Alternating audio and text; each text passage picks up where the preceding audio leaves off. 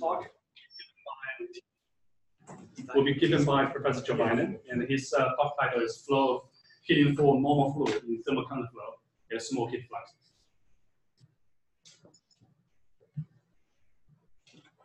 Um, well, I, I, commented on the fact in my talk earlier talk that um, counterflow turbulence had been discovered, what, 65 years ago.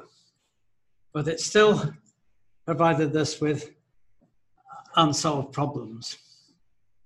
And uh, if you take away from this particular presentation one message, then that message is that there are still problems in understanding really what is going on in counterflow turbulence.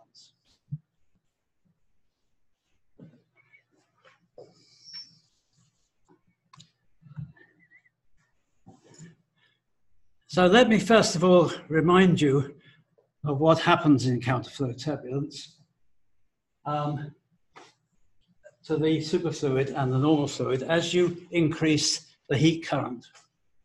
At the smallest heat current, the superfluid flows in the frictionless way, there are no vortex lines, but the normal fluid uh, flows in a laminar fashion through the tube that you're using. And then, um, as you increase the heat current, you move into a regime where the um, you start creating a vortex tangle in the superfluid component, but the normal fluid uh, continues to flow uh, apparently in a laminar fashion, although the profile of the laminar flow may be modified by the mutual friction. And then if you increase the heat current still further, uh, you get uh, a transition to um, a large scale turbulence, coupled turbulence in the two fluids, uh, superimposed on the uh, small scale tangle, which you have in this regime here. Now, I'm going to be concerned entirely with this region here.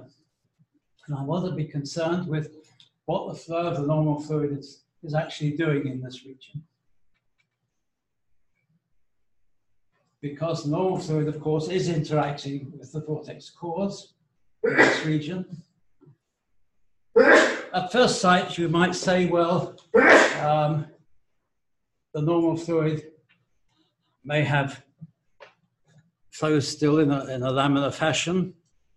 Um, it's um, profile will be modified by mutual friction, but perhaps you have no small scale motion in the normal fluid. But that is not the case because the mutual friction, of course, is localized in the regions very close to the vortex cores. And that mutual friction has to be transferred to the whole of the normal fluid and that can only occur if the normal fluid flow is modified so that the transfer of energy can occur through the action of the normal fluid viscosity.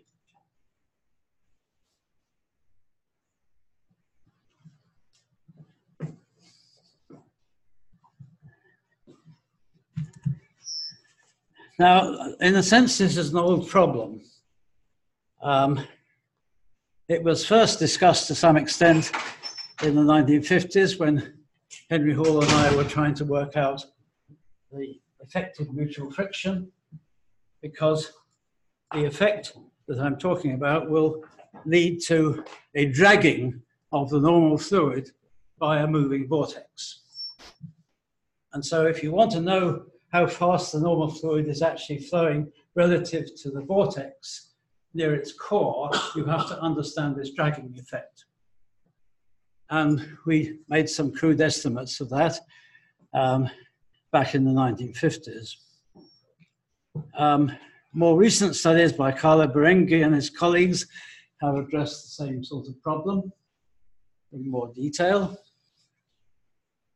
But the situation has changed significantly in the last year or so because for the first time we now have some relevant experimental evidence.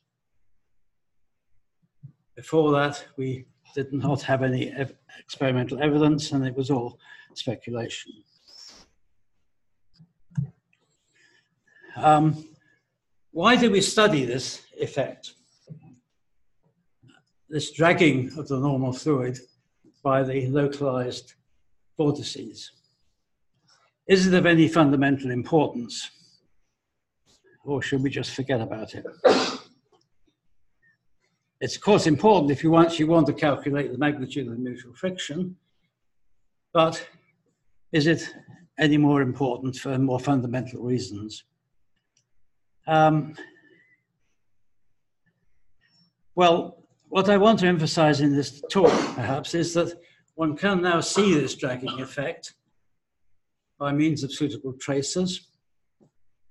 And that illustrates that modern visualization techniques um, are able to tell us quite a lot about the detailed flow that is going on in superfluid systems.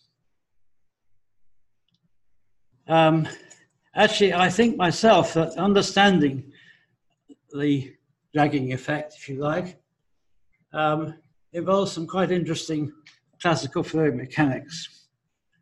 Um, I may have got my classical fluid mechanics wrong in this respect, but let us see. But maybe, just maybe, what is going on here may be of some more greater fundamental importance in this work for a reason that I will come to towards the end of my talk. Um, the effect I'm talking about was, of course, mentioned by Carlo Barenghi in his introductory lecture, and that is sufficient, perhaps, uh, to, uh, for us to regard it as of some importance. So what I'm going to do is, first of all, to describe the relevant experimental results, and then I will give you a very preliminary uh, speculative discussion about their interpretation. The experiments involve particle tracking methods using particles, micron-sized particles of deuterium. So we have a heat current um, in this regime where you have a tangle of vortex lines, but the um, motion of the normal fluid is at least roughly laminar. And you can measure the velocities with which the particles, these tracking particles move, you can look at their probability distribution functions of velocity. And typically, uh, in the regime that I'm discussing, this PDF looks like this, where this peak here in the velocity of the particles corresponds to particles that are trapped on vortex lines. And so this velocity here is the velocity with which the vortex lines are moving. And this peak here is arises from particles which are not trapped on vortex lines, but are moving with the normal fluid. And so this average velocity here is the average normal fluid velocity.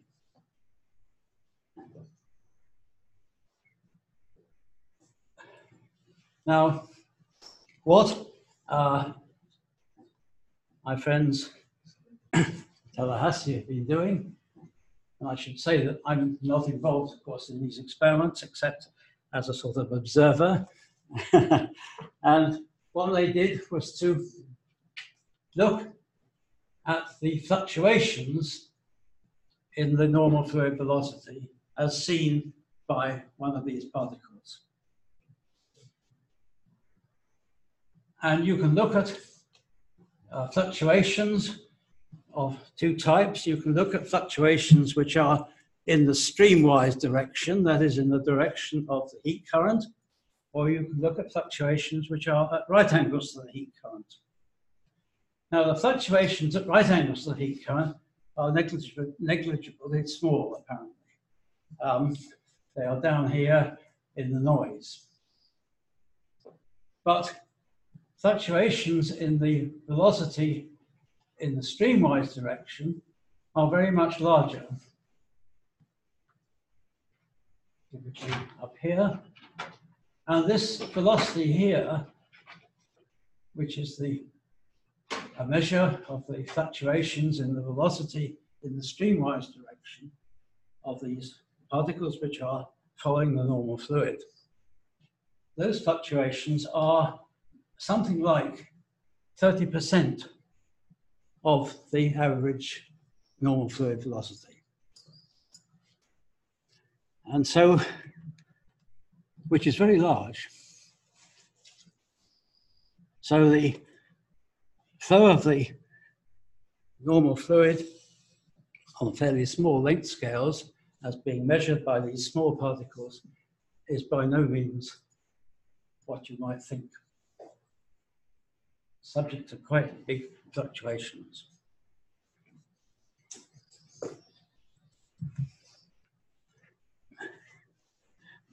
You can observe not only um, the fluctuations in velocity, you can measure velocity correlation functions. In other words, how the velocity changes with time, indicated by this correlation function here.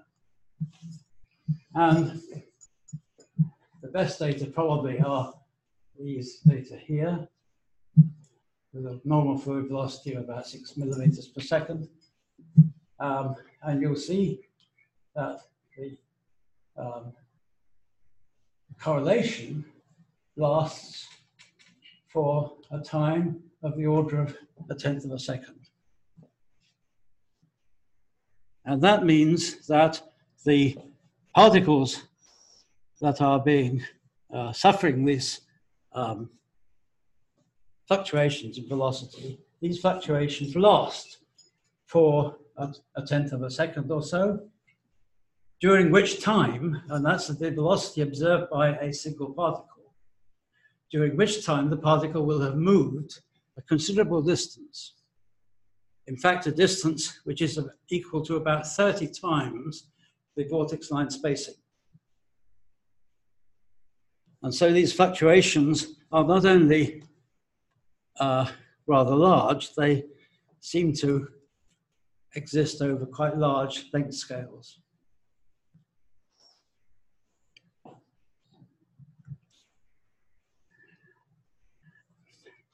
So we conclude then from the experiments that in thermal counterflow at small heat fluxes where the normal fluid is thought to be uh, in laminar flow, the velocity of the normal fluid is certainly not uniform on the small scale, but seems to fluctuate by about 30%, and that the fluctuations uh, extend over distances of perhaps 30 times the intervortex spacing. And the fluctuations occur only in the streamwise direction.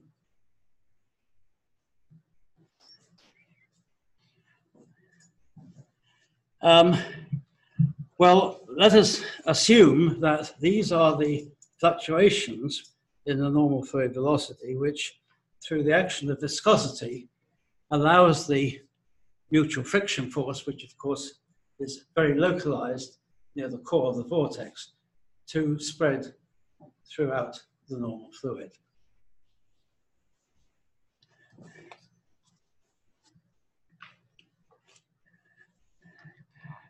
So what I want to do now is to um, start thinking about uh, the meaning of these results and uh, try, start thinking about the, the possible dragging effect of a moving vortex, dragging the normal fluid in its neighborhood, and seeing whether this sort of dragging effect can account for the experimental results.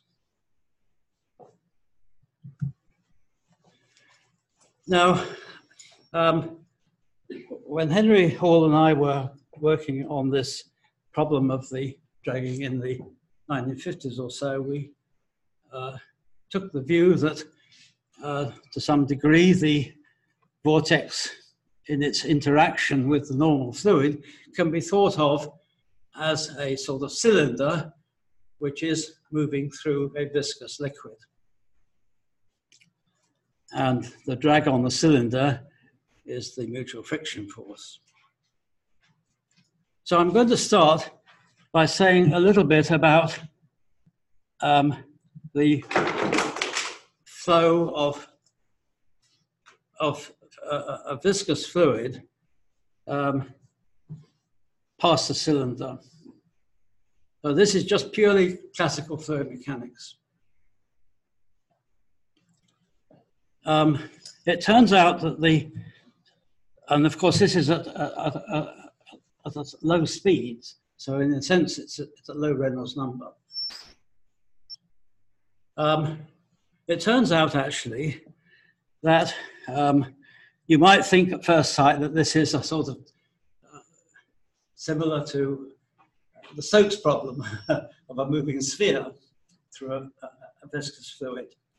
But it's actually much more difficult than the, than, the, than the Stokes problem because it turns out that you cannot find a solution of the linearized Navier-Stokes equation that satisfies all the boundary conditions associated with this flow.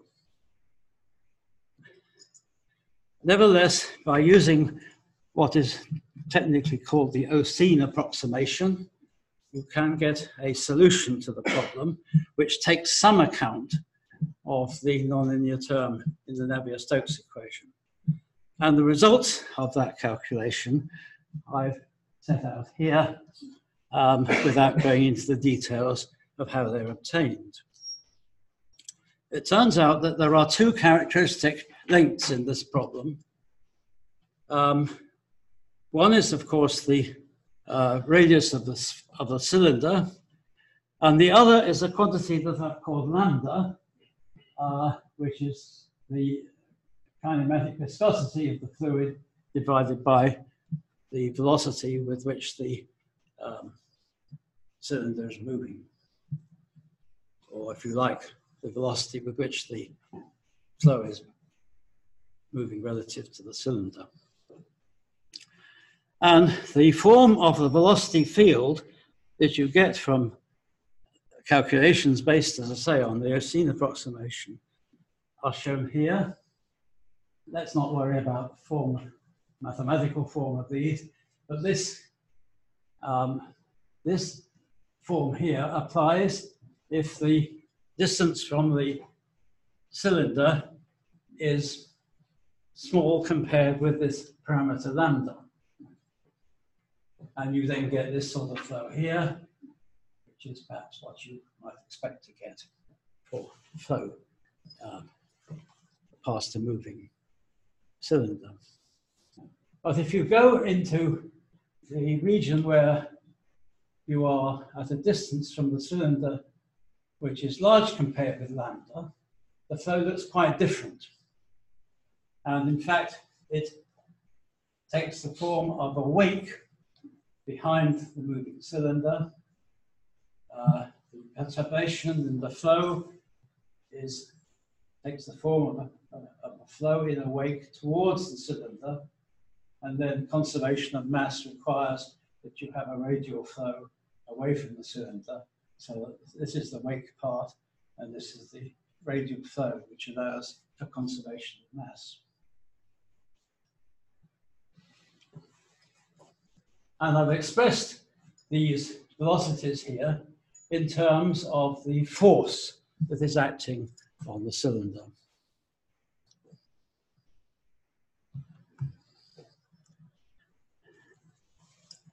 Um, now, um, you'll notice that, I've written these formulae up, up again, you'll notice that the, these velocities become independent of the radius A of the cylinder um, if you are at a distance from the cylinder which is large compared with its radius.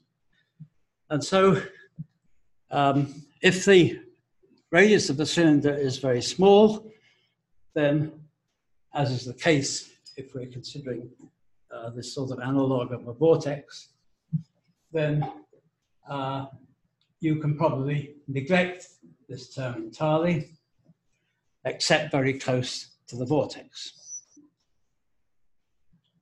Um, and so what I'm suggesting then is that this sort of field here uh, is the velocity field that is produced by a moving vortex.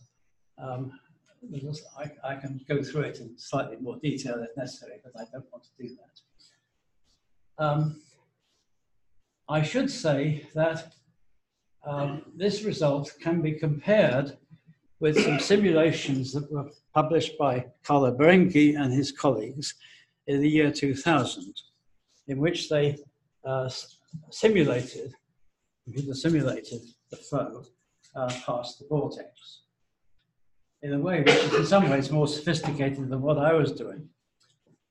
But I suspect, and, and their result is really very different from, from mine.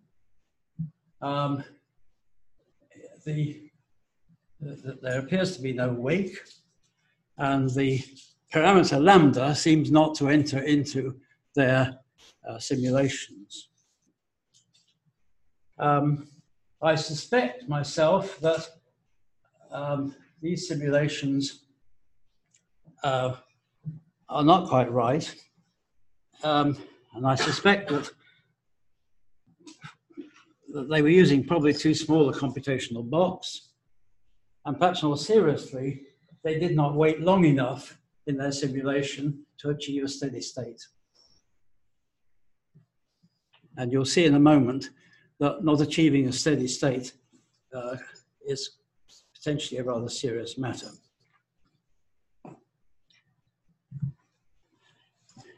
Well, if you accept what I'm proposing rather than what Carlo's uh, people are proposing, then uh, the perturbation to the velocity by a moving vortex is uh, shown here. Um, in practice, um, given the sort of numbers that we saw in the, um, in the experiments. Lambda, this characteristic length lambda is very small. It's much less than an intervortex spacing. And so what you see is mainly the wake, which extends uh, this, uh, these distances here are normalized by the intervortex spacing so that the wake is extending to eight or nine intervortex spacings. But this is really smaller than what we see experimentally. Um, and so it looks to me as though um, you cannot explain um, the experimental results um, from Tallahassee uh, by thinking in terms of a single vortex.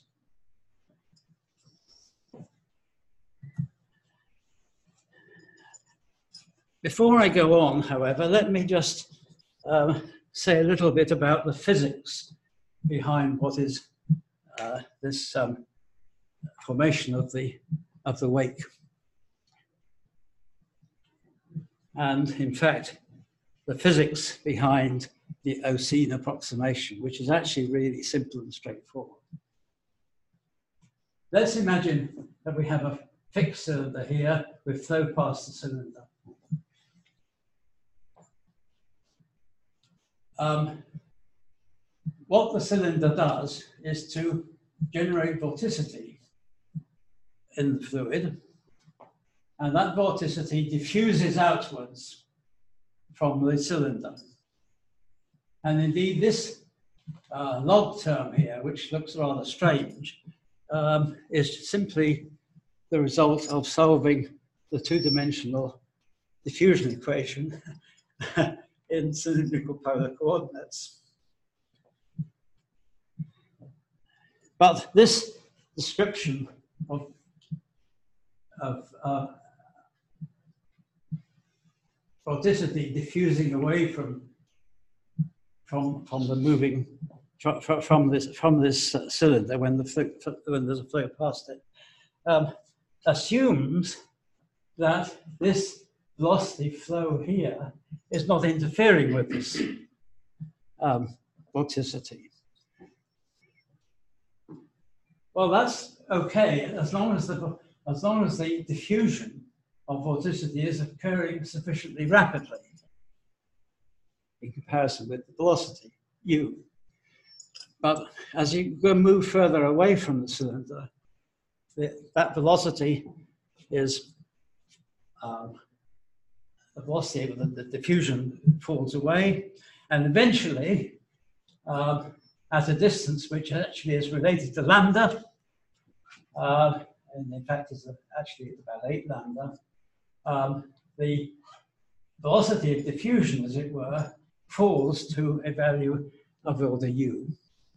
And at that point, u starts to affect the um, vorticity by swinging it round behind the moving cylinder, and that's how the, the wake is crea created.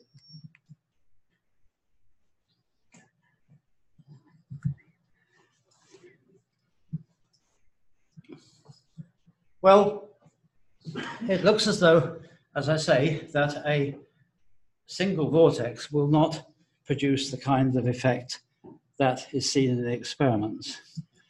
And so the question then is whether a whole collection of vortices will produce the right sort of effect. Um, and here I've just done a very, very simple uh, calculation. I've taken a collection of rectilinear vortices. I've made them more parallel, but I've dis distributed them randomly this sort of way here. So this, is, this is flow through a random collection of rectilinear vortices all parallel to one another. And we apply a velocity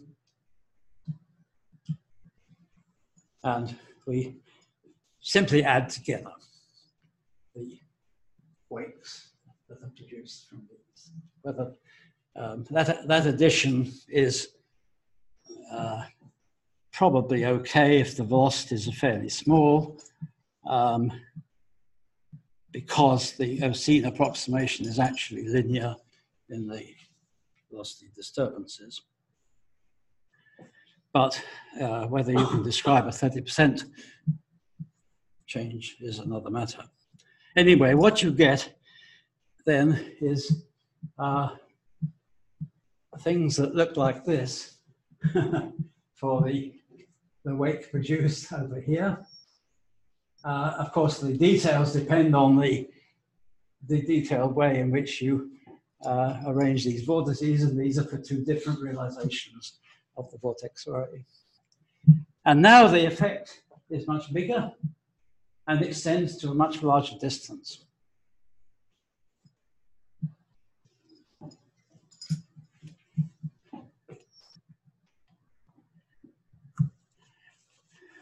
Well, of course, you can use my model to calculate this correlation function.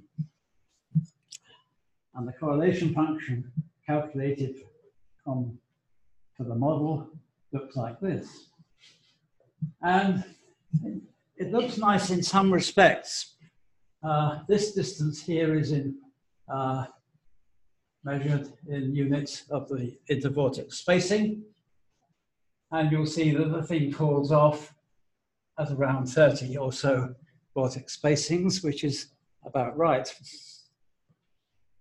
And the magnitude of the fluctuation is also about right. But the correlation function looks very different in shape from the observed one. In fact, this is a rather strange shape. And I don't know the reason for that. It may be the model is too crude, there's an effect of vortex motion. It's the question of whether you can simply add together the wakes. And of course, there's the assumption that the vortex positions are random. Question? Question? Yes, So in the experiments, the particles are ten microns. And so the space that they're, that, that they're, that they're exploring it's quite seems to small. be, no, it's, I mean, it's large compared to the Yeah. vortex core diameter. Yeah. So it seems like you're, you know, the, the, the We don't, we particles. don't know how, how wide these regions are. That's the trouble, we only know their length. But if, but if I look at the, the, If we you know, could your look at- wire If, if uh, we could look at analogy. two, two particles, we can say, if there's a correlation between the motion of two particles, then we could say something about the width of the disturbance. Particles are not frozen hydrogen, particles are atoms. No, no, no. No, no. It's actually, it's- it's carried. Hydrogen. Sorry. Okay. So uh, the, the model is very, very crude, but it has some features which seem to agree with experiment. But that doesn't mean say that it's right, of course. So let me conclude then. Um, one important conclusion, I think, is that um, quite detailed aspects of the flow of the normal fluid, in this case, can now be visualized. And what I'm interpreting as, as the dragging of normal fluid by moving vortices can be seen. Um, perhaps we have some understanding of what is happening, but at best it's incomplete and it may, of course, be completely wrong. Of course, a better theory must be based on simulations that involve realistic vortex configurations interacting realistically with the normal fluid um, and moving in a realistic fashion.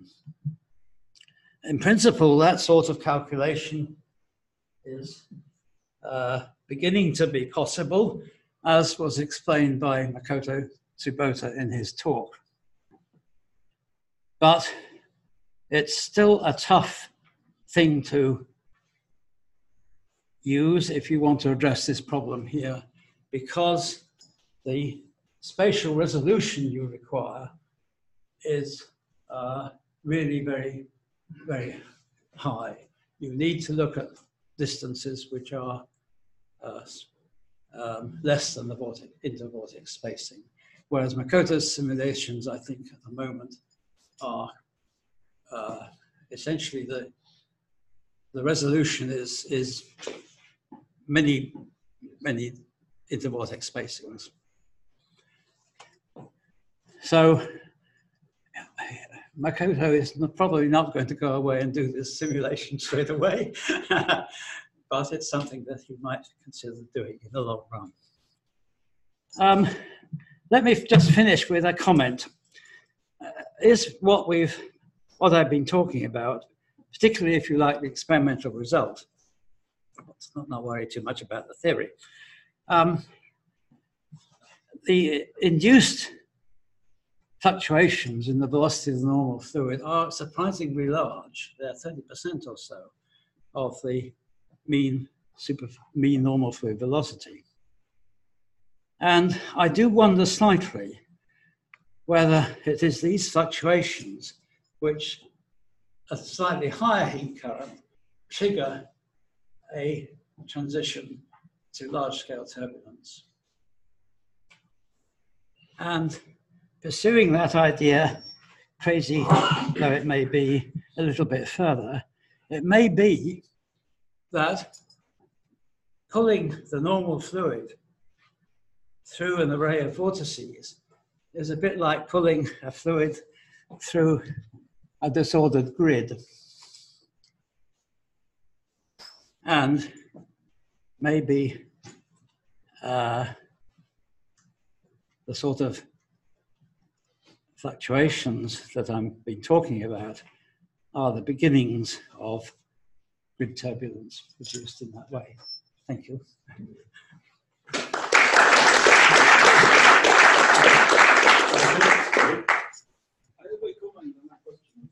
Hmm. I, I can confirm that this kind of uh, distribution is observed in other experiments and in Prague as well for those, that's fine.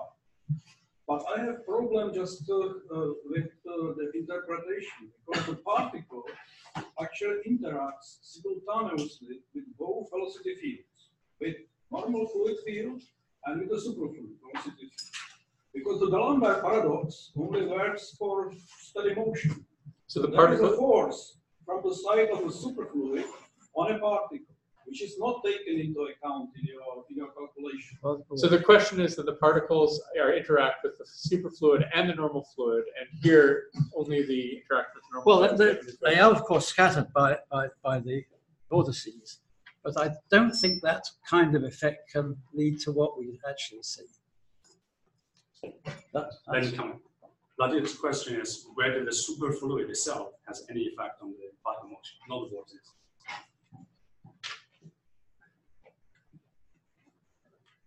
Um, I, sus- I suspect we're very close to the vortex. It does have an effect, yes, but hopefully not, not very far from. Right. Thank you.